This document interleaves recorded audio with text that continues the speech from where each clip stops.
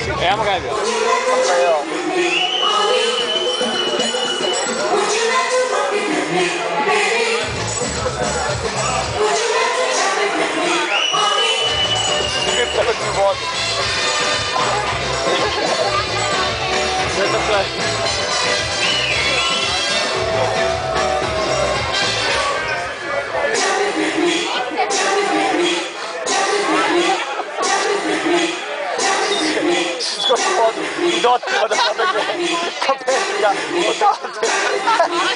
fucking way.